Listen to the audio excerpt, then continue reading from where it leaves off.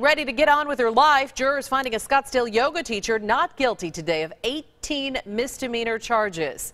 Lindsey Radomski had been accused of flashing boys at a bar mitzvah last year and performing a sex act on one of them, but her attorney argued she was actually the victim after being drugged. The trial lasted seven weeks, ending with three hours of deliberation.